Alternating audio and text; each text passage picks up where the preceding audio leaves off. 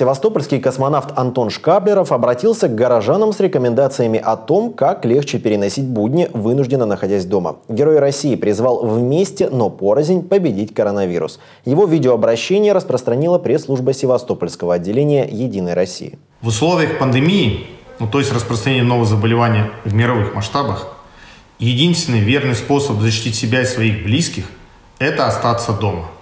Поэтому я призываю всех, у кого есть такая возможность, без всякой причины не покидайте свое жилище.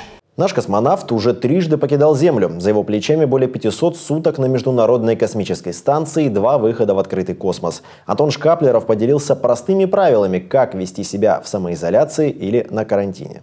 Настройтесь на позитивный лад. Второе. Организуйте свой день. Составьте список дел и неукосительно придерживайтесь расписания. Вы успеете переделать массу всего полезного. Если следовать этому правилу каждый день, впоследствии у вас выработается крайне полезная привычка. Третье.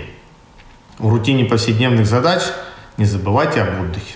Антон Шкаплеров уточнил, самоизолируясь, не забывайте поддерживать связь с родными и близкими. Организуйте совместный удаленный досуг или просто поговорите по телефону, советует космонавт. Кроме того, не стоит полагаться на собственные наблюдения, подчеркнул Антон Шкаплеров. Если с вами что-то не так, обратитесь к специалистам по городскому телефону горячей линии 22 72 27.